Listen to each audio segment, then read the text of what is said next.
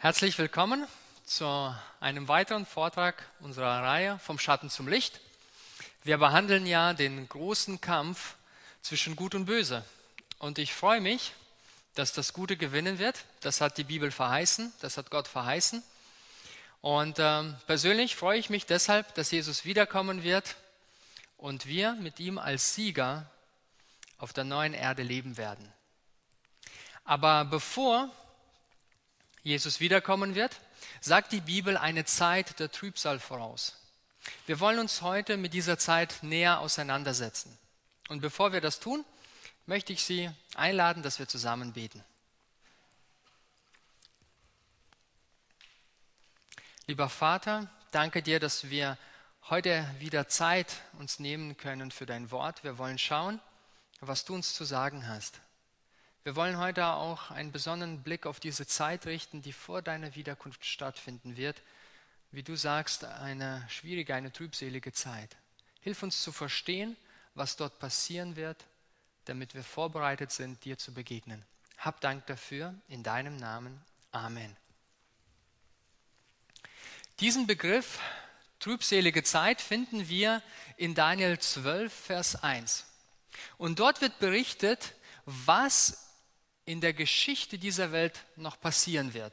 Da heißt es, zu jener Zeit wird Michael, der große Engelfürst, der für dein Volk eintritt, sich aufmachen.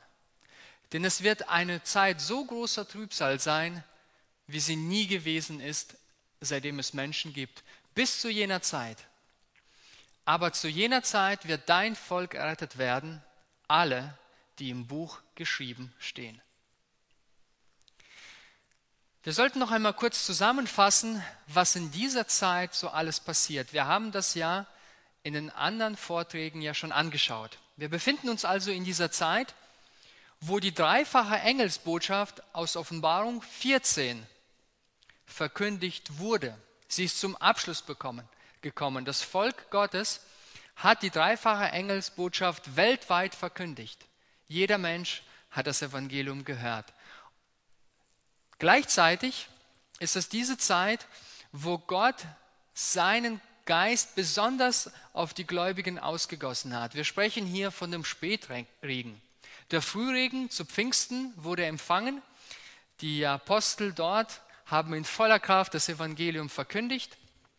Kurz vor der Wiederkunft gibt es dann den Spätregen, wo der Heilige Geist zusammen mit den gläubigen Menschen das Werk hier auf dieser Erde durch die Verkündigung abschließen wird.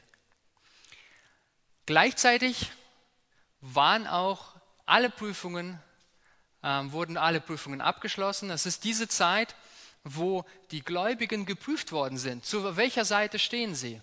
Auf der Seite des Tieres, des falschen religiösen Systems oder auf der Seite Gottes?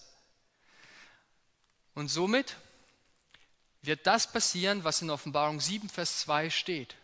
Gottes Volk wird in dieser Zeit versiegelt mit dem Siegel. Und wir haben schon gesehen, was dieses Siegel ist. Es sind die zehn Gebote, ganz besonders der Sabbat, weil dort Gottes Name, Gottes Autorität und Gottes Herrschaftsbereich klar und deutlich formuliert wird. Somit beendet auch Jesus seinen Mittlerdienst im Himmel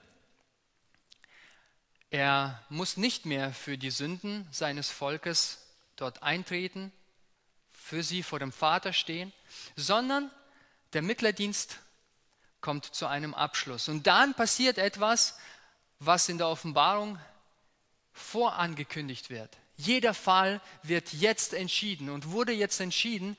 Und somit wird Jesus folgende Worte aussprechen, wenn das passiert. Diese Worte stehen in Offenbarung 22, Vers 11. Dort heißt es, dass Jesus sagen wird, wer Böses tut, der tue weiterhin Böses. Und wer unrein ist, der sei weiterhin unrein. Aber wer gerecht ist, der übe weiterhin Gerechtigkeit. Und wer heilig ist, der sei weiterhin heilig. Die Bibel lehrt also ganz klar, dass diese Zeit kommen wird, wo die Ernte reif geworden ist. Jeder Mensch hat sich entschieden, und weil die Menschen sich entschieden haben, auf welcher Seite sie stehen, ist es jetzt deutlich, zu wem sie gehören. Und Gott macht das klar, indem er diese Aussage sagt. Jeder wird den Weg weitergehen, für den er sich entschieden hat.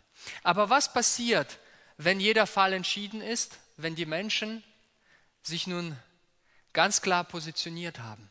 Es ist die Zeit, wo der Geist Gottes sich nun anfängt zurückzuziehen. Er muss nicht mehr an den Herzen der unbußfertigen Menschen wirken. Und weil der Heilige Geist sich zurückzieht, weil er ja nicht mehr die Menschen zur Reue führen kann, sie wollen ja nicht mehr bereuen, hat nun Satan die vollständige Kontrolle über die Gottlosen. Kein Gewissen hält sie mehr zurück, keine Norm. Und das ist eine Zeit, wo die Welt ins Verderben hineingezogen wird. Nationen werden gegeneinander Krieg führen. Familien werden auseinandergerissen, werden sich gegenseitig bekämpfen. In der Wirtschaft, in der Religion, in der Politik wird es ein Durcheinander geben. Und der Höhepunkt wird sein, dass die gottlosen Menschen, den gläubigen Menschen die Schuld für dieses Chaos in dieser Welt geben werden. Sie werden sagen, aufgrund eurer Überzeugung, aufgrund dessen, was ihr tut, bringt Gott sozusagen das ganze Verderben hier auf diese Welt. Gleichzeitig werden politische und religiöse Auseinandersetzungen in Bezug auf die Sabbat- und Sonntagsfrage in der ganzen Welt vorhanden sein. Man wird es diskutieren. Was ist jetzt mit dem Sabbat? Was ist jetzt mit dem Sonntag? Alle Menschen werden in diese Diskussion involviert sein. Sie werden sich damit beschäftigen. Es ist also eine Zeit, wo Chaos, wo Krieg, wo Unglück herrscht und die Menschen eine Entscheidung treffen. Die gottlosen Menschen werden sagen, weil es so viel Chaos gibt, weil die Gläubigen, die sich zu den zehn Geboten halten, dieses Unglück über uns gebracht haben, müssen wir sie loswerden. Es wird ein Todesbefehl gegen alle, die die zehn Gebote halten, einschließlich des Sabbats. Gegen diese Menschen wird ein Todesbefehl erlassen. Und das wird weltweit gültig sein. Über diese Zeit spricht Jeremia 30, Vers 5 bis 7, wo es heißt, so spricht der Herr. Angstgeschrei vernehmen wir, Schrecken und kein Friede. Fragt doch und schaut, ob je ein Mann Kinder zur Welt bringt. Warum sehe ich alle Männer mit den Händen auf den Hüften, wie eine Gebärende? Jedes Gesicht ist verstört und leichenblass. Denn groß ist jener Tag, keiner ist ihm gleich. Eine Notzeit ist es für Jakob, doch wird er daraus gerettet. Hier wird diese Situation beschrieben, die Situation, wie sie auch Jakob erlebt hat. Eine Zeit der Angst, eine Zeit der Not. Und das ist typologisch, ein Bild dafür, was passieren wird in der letzten Zeit, bevor Jesus wiederkommt. In dem Buch Vom Schatten zum Licht auf Seite 562 wird das passend zusammengefasst. Jakobs Nacht der Angst, als er im Gebet um die Befreiung aus der Hand Esaus rang, ist ein Sinnbild für die Erfahrung, die das Volk Gottes in der Zeit der Trübsal erleiden muss. Was ist passiert? Wir wissen, dass Jakob, so berichtet die Bibel, seinen Bruder betrogen hat. Er hat sich den Segen sozusagen durch Betrug erlangt. Und weil der Bruder dann daraufhin sehr böse wurde und ihn umbringen wollte, musste er fliehen. Als er dann viele Jahre später zurück in sein Land wollte, ist ihm sein Bruder entgegengekommen, der Esau. Und das war eine Zeit, wo er sehr, sehr durcheinander war, sehr viel Angst hatte, eine persönliche Zeit der Trübsal, die er durchleben musste. Und der Rang mit Gott. Sind ihm seine Sünden vergeben? Kann er Esau begegnen? Wird er ihm freundlich begegnen? Und in dieser Nacht kämpft Jakob gegen ein himmlisches Wesen. Und er kämpft die ganze Nacht und wir, diese Worte, die er dann am Ende sagt, sind entscheidend. Er sagt in 1. Mose 32, Vers 27, ich lasse dich nicht, es sei denn, du segnest mich. Und das ist die Einstellung, auf die es am Ende ankommen wird. Ja, es wird eine trübselige, eine schwierige Zeit über diese Erde kommen, für alle gläubigen Menschen. Und Gott zeigt uns voraus, welche Einstellung wir brauchen. Eine demütige Einstellung, wo wir uns ganz auf Gott verlassen und uns ganz an ihn klammern. Nur so kommen wir durch diese letzte Zeit. Und genau das wird auch in dem Buch auf Seite 565 beschrieben, wie diese letzte Zeit aussehen wird. Während Satan Gottes Kinder wegen ihrer Sünden verklagt, lässt Gott es zu, dass der Böse diese Menschen bis zum äußersten versucht. Ihr Gottvertrauen, ihr Glaube und ihre Standhaftigkeit werden ernsthaft geprüft. Wenn sie auf ihre Vergangenheit blicken, sinkt ihre Hoffnung, denn sie können in ihrem Leben wenig Gutes entdecken. Sie sind sich ihrer Schwachheit und Unwürdigkeit völlig bewusst. Deshalb versucht Satan sie mit dem Gedanken zu quälen, ihre Fälle seien hoffnungslos und der Makel ihrer Verunreinigung könnte niemals abgewaschen werden. So hofft er, ihren Glauben zu zerstören, damit sie seinen Versuchungen nachgeben und sich von Gott abwenden. Wir sehen hier also, um was es wirklich geht in dieser letzten Zeit. Es ist eine Zeit, wo der Teufel die Möglichkeit hat, die gläubigen Menschen dadurch zu quälen und zu versuchen, indem er sie an ihre Vergangenheit erinnert. Das, was sie, das Schlechte, was sie alles getan haben. Und das ist eine Zeit der Not. Sie ringen darum, sind alle meine Sünden vergeben? Habe ich alles bekannt? Und doch ist es auch gleichzeitig eine Zeit wo nicht nur die innere Not so stark ist, sondern noch gleichzeitig dazu die äußere Not. Denn das Volk Gottes ist ja von Feinden umgeben, die sie töten wollen. Sie formieren sich.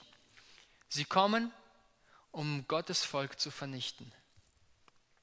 Aber doch muss man sagen, ist die äußere Verfolgung nicht das Ausschlaggebende. Wir haben gelesen, dass es das Wichtigste, um was es hier gehen wird, ist, wie ist meine innere Einstellung? Die innere Verfolgung sozusagen, die der Teufel durch das schlechte Gewissen herbeiführen wird, indem er sagen wird, Gott hat dir nicht vergeben. Es sind noch zu viele Sünden. Schau dich doch an, du hast keine Chance. Das ist das, was den gläubigen Menschen in dieser letzten Zeit wirklich Sorgen machen wird. Sie werden sich nämlich die Frage stellen, sind alle meine Sünden vergeben? Oder ist noch irgendetwas, was ich nicht vergeben habe, was mich von Gott trennt? Ist da irgendetwas, was nicht vergeben worden ist? Das ist der innere Kampf wegen den vergangenen Sünden. Und es ist gut zu wissen, dass die gleiche Einstellung diese Menschen, diese gläubigen Menschen retten wird, wie die Einstellung, die Jakob an den Tag gelegt hat, indem er gesagt hat, als er mit dem Engel, mit dem Engel des Herrn kämpfte, ich lasse dich nicht, es sei denn, du segnest mich. Genauso werden die gläubigen Menschen in dieser trübseligen Zeit sich an Gott klammern, denn das ist ihre einzige Hoffnung. Sie haben ihre Sünden bekannt. Sie können nichts mehr tun. Und deshalb klammern sie sich an Gott und verlassen sich auf seine auf seine Aussagen, auf seine Verheißungen der Vergebung. Wir lesen also auf Seite 566 und dort wird diese Situation weiter beschrieben. Da heißt es, hätte Jakob nicht vorher seine Sünde, die Erlangung des Erstgeburtsrechts durch Betrug bereut, hätte Gott sein Gebet nicht erhört und auch sein Leben nicht gnädig bewahrt. Wenn also Gottes Volk in der trübseligen Zeit noch nicht bekannte Sünden entdecken würde, während es in Angst und Schrecken gepeinigt wird, könnte es überwältigt werden. Die Verzweiflung würde ihren Glauben ersticken und sie hätten kein Vertrauen mehr, Gott um ihre Errettung zu bitten. Während sie sich ihrer Unwürdigkeit wohl bewusst sind, haben sie keine verborgene Schuld zu enthüllen. Ihre Sünden sind bereits durch das Gericht beurteilt und getilgt worden und es existiert keine Erinnerung mehr an sie. Das ist die gute Nachricht. Ihre Sünden sind durch das Gericht beurteilt worden und es sind auch gleichzeitig getilgt worden. Das ist die gute Verheißung, an die wir uns in dieser Zeit dann klammern können. Gott ist treu. Er hat uns versprochen, wenn wir unsere Sünden bereuen, so ist er treu und gerecht, dass er uns unsere Sünden vergibt und reinigt uns von aller Ungerechtigkeit. 1. Johannes 1, Vers 9. Darauf können wir uns verlassen. Aber wie sieht es jetzt nun in der Welt aus? Was wird dort noch alles geschehen in dieser Zeit? Wir müssen eins, wir müssen uns eins im Klaren sein, dass der Teufel in dieser Zeit jeden überwinden wird, der noch an irgendeiner Sünde festhält oder irgendeine Sünde entschuldigt. Wenn ich oder Sie vielleicht sagen, ah, das ist nicht so schlimm, ich liebe Gott, aber er wird schon das akzeptieren, dass ich hier seine Gebote übertrete. Das ist in Ordnung. Das heißt, wenn ich in der Sünde lebe, kontinuierlich sündige und gleichzeitig mich auf, auf die Erlösung verlasse, dann findet hier ein Widerspruch statt. Ich kann nicht Gott lieben und gleichzeitig die Sünde. Gott möchte, dass ich mich von der Sünde trenne, aus Liebe zu ihm. Deshalb ist in dieser letzten Zeit ein Glaube notwendig, der erdulden kann. Und Sie fragen sich vielleicht jetzt, ja, was muss er denn erdulden, dieser Glaube? Die Bibel berichtet uns, was notwendig ist in dieser letzten Zeit. Wir müssen Mühsal erdulden, Verzug und Hunger. Mühsal, weil es die schrecklichste Zeit sein wird, die es je gegeben hat. Verzug, weil wir beten, dass Jesus endlich kommt und es sieht so aus, dass er noch nicht kommt und auf sich warten lässt.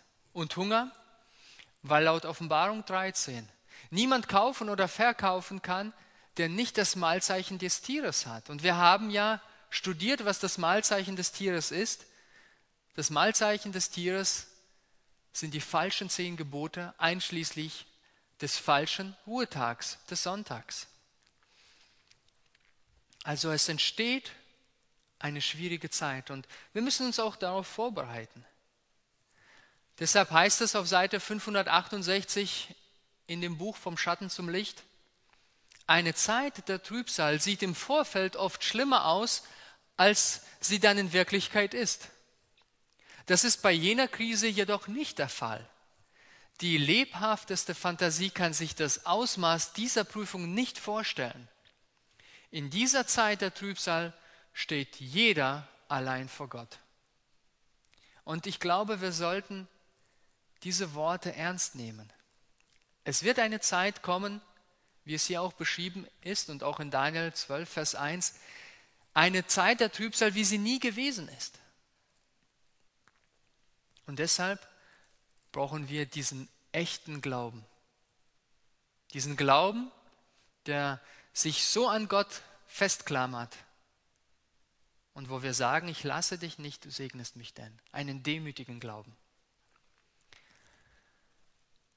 Ja, wir haben schon darüber gesprochen und ich möchte es noch einmal wiederholen. Wie können wir durch diese Zeit kommen? Wenn wir auf Jesus schauen, werden wir feststellen, dass Jesus keine Liebe zur Sünde pflegte. Er hat sich immer von der Sünde entfernt, immer Nein gesagt zu der Sünde. Und wir sollten auch seinem Beispiel folgen. Er hat uns dazu eingeladen, uns ermutigt und er gibt uns auch täglich die Kraft dazu.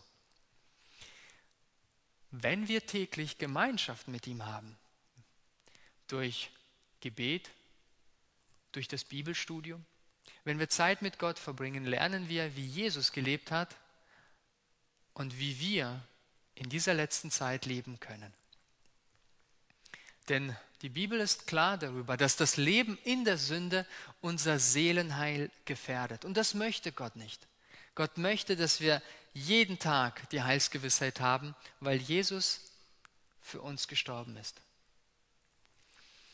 Aber auf dieser Welt wird es dann in dieser letzten Zeit große Täuschungen geben.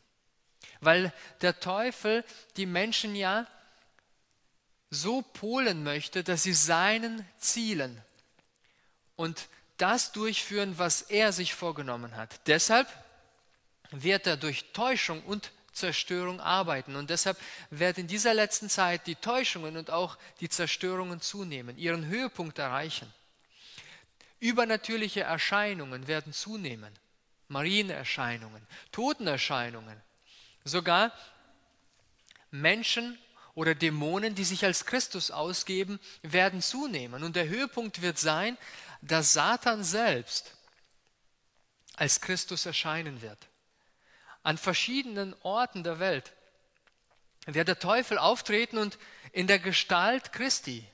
Er wird Menschen heilen. Er wird die Hände auflegen und sie segnen. Und das, die Worte wiederholen, die auch Jesus vor 2000 Jahren gesprochen hat. Gleichzeitig wird er sogar behaupten, dass der Sabbat auf den Sonntag verlegt worden ist. Und diese große Täuschung könnte fast nicht klar entlarvt werden, es sei denn nur durch die Bibel, nur durch das Wort Gottes. Das heißt, diese große Täuschung, diese übernatürlichen Erscheinungen werden so echt aussehen, dass die Menschen durcheinander kommen werden und glauben werden, ja, Jesus muss wirklich jetzt gekommen sein, wenn er überall hier erscheint und große außernatürliche Zeichen und Wunder tut. Und gleichzeitig behauptet aber dieser falsche Jesus, dass die zehn Gebote verändert worden sind.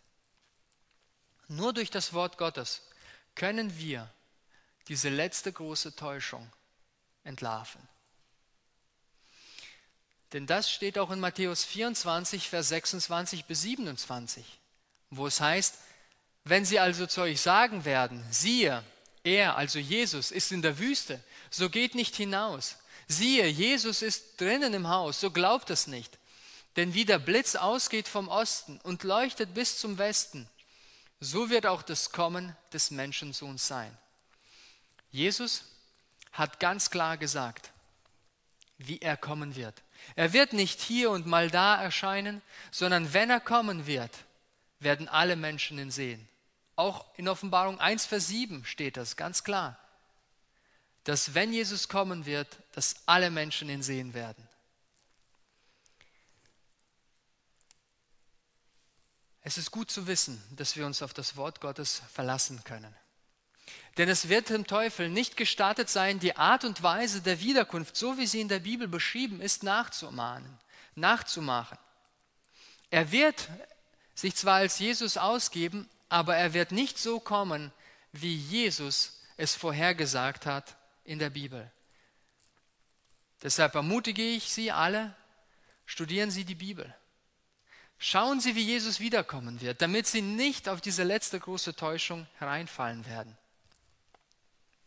Es heißt auf der Seite 571, und dort spricht es jetzt über diese Zeit, wo dieser Todesbefehl dann verkündigt wird. Wenn der Erlass verschiedener Regierungen christlicher Länder gegen die rechtskräftig wird, die Gottes Gebote halten und geltendes Recht ihnen den Schutz entzieht, wird sich das Volk Gottes zusammentun. Seine Getreuen werden Städte und Dörfer verlassen und vor denen fliehen, die ihnen nach dem Leben trachten, um in öden und einsamen Gegenden zu wohnen. Viele werden in einsamen Gebirgsgegenden Zuflucht finden. Viele aber aus allen Völkern und Ständen werden eine sehr ungerechte und grausame Gefangenschaft erdulden müssen. Gottes geliebtes Volk muss beschwerliche Tage durchmachen, gebunden in Ketten, hinter Schloss und Riegel, gesetzt und zum Tode verurteilt. Es sieht so aus, als würden einige in finsteren, stinkenden Verließen dem Hungertod überlassen. Kein Mensch hört ihr klagen. Niemand reicht ihnen die Hand zur Hilfe. Und wenn wir das lesen im 21. Jahrhundert in einer demokratischen Gesellschaft, denken wir, das kann doch niemals erfüllt werden. Aber irren Sie sich nicht. Schauen Sie in die Vergangenheit, in die Geschichte Und wir werden feststellen, dass das Volk Gottes zu jeder Zeit verfolgt worden ist. Auch heute gibt es Christenverfolgung weltweit. Ja, wir haben das Glück in dieser Zeit hier in diesen westlichen Ländern zu leben, wo wir Freiheit haben. Aber die Bibel macht deutlich, dass auch diese Freiheit den Christen am Ende der Zeit entzogen wird. Und so gesehen, in den 2000 Jahren der Geschichte von der ersten Ankunft bis Jesus wiederkommt, wir wissen ja nicht, wann er wiederkommen wird, aber wenn wir jetzt diese 2000 Jahre anschauen, werden wir feststellen, dass Christen ja wirklich zu jeder Zeit verfolgt worden sind und es immer nur kurze Zeiten gab, wo es Freiheit gab. Und so wird es aussehen, als ob Gott sein Volk verlassen hat. Aber wir haben die Verheißung in Jeremia 49, Vers 14 bis 16. Der Herr hat mich verlassen, der Herr hat meiner vergessen. Das, sind, das werden die Aussagen sein, die die Gläubigen ausrufen werden. Aber Gott antwortet, kann auch eine Frau ihr Kindlein vergessen, dass sie sich nicht erbarme über den Sohn ihres Leibes? Und ob sie seiner vergesse, so will ich doch deiner nicht vergessen. Siehe, in die Hände habe ich dich gezeichnet. Das ist unsere Hoffnung, das ist unsere Verheißung. Jesus wird uns auch in dieser Zeit, in der, dieser letzten trübseligen Zeit, nicht verlassen und nicht vergessen. Wir haben gehört, dass in dieser trübseligen Zeit Jesus seinen Mittlerdienst im Himmel beendet hat. Den Dienst, den Jesus seit der Himmelfahrt für uns tut, vor dem Vater, wie es im Hebräerbrief auch steht. Jetzt tritt er nicht mehr für die Menschen ein. Jetzt steht der Sünder alleine vor Gott. Keiner, der ihn vor Gott vertritt. Und deshalb kommt der Zorn Gottes über die gottlosen Menschen. Denn der Zorn Gottes ist gerecht. Viele Jahre, viele Jahrzehnte, Jahrtausende haben Menschen, gläubige Menschen verfolgt, haben böse Menschen die guten Menschen verfolgt, ihnen Unrecht zugetan und jetzt kann Gott nicht mehr hier einfach wegschauen. Jetzt wird Gott eingreifen und die letzten sieben Plagen werden diese hasserfüllten Menschen treffen. Und wie wird es aussehen? Werden diese sieben letzten Plagen weltweit sein und alle Menschen vernichten? Auf Seite 573 wird uns das beschrieben, was wir auch in der Offenbarung finden über die letzten sieben Plagen. Dort heißt es hier, hier handelt es sich nicht um weltweite Plagen, sonst würden die Bewohner der Erde völlig ausgerottet werden. Trotzdem werden sie die schrecklichsten Geißeln sein, die sterbliche Menschen je erlebt haben. Alle Gerichte, die vor Beendigung der Gnadenzeit über die Menschen kamen, waren mit Gnade vermischt. Das rettende Blut Christi schützte den Sünder davor, das volle Strafmaß zu erhalten. Doch beim Endgericht wird der Zorn Gottes ungehemmt und ohne Gnade ausgegossen werden. Es ist also in dieser Zeit, wenn die Plagen ausgegossen werden, wo die Gottlosen an Hunger und Seuchen leiden werden. Sie werden das bekommen, was sie anderen Menschen zugefügt haben.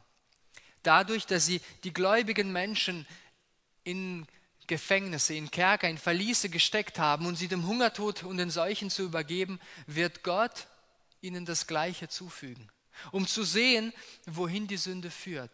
Man soll nämlich nicht nach, nach dem, was Gott sagt, anderen Menschen Leid zufügen.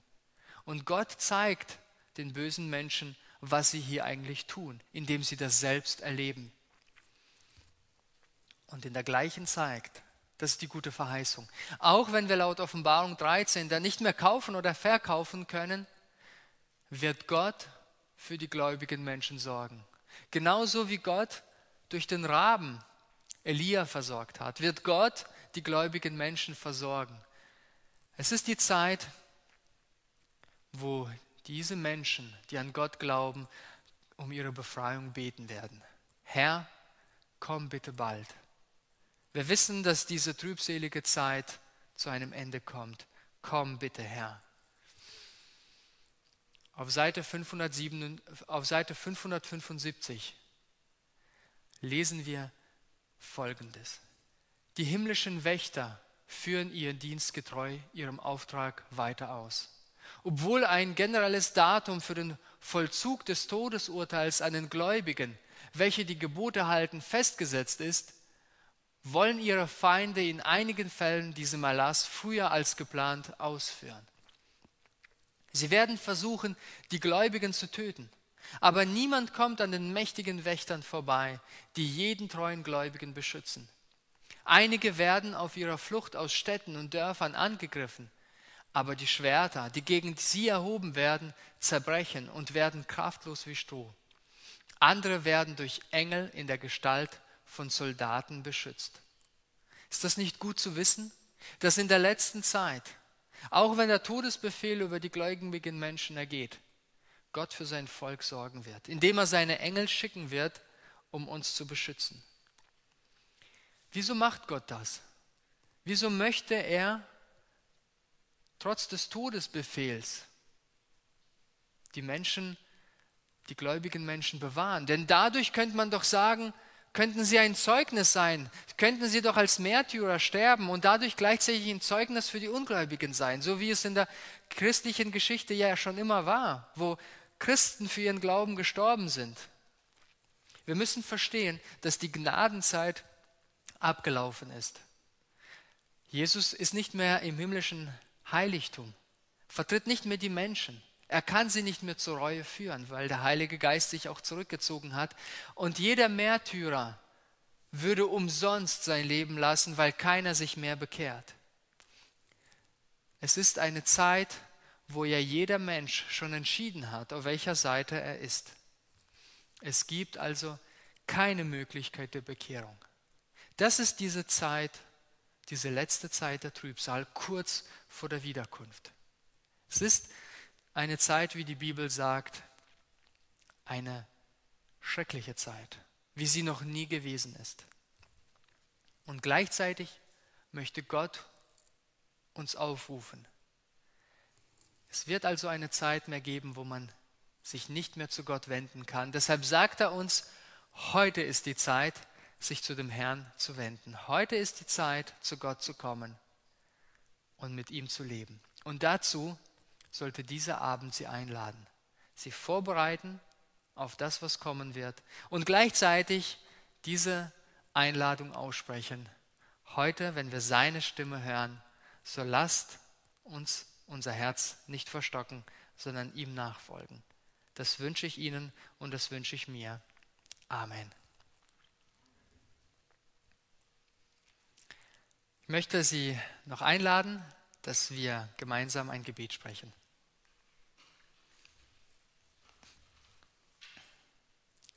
Lieber Vater im Himmel, ich möchte dir Danke sagen.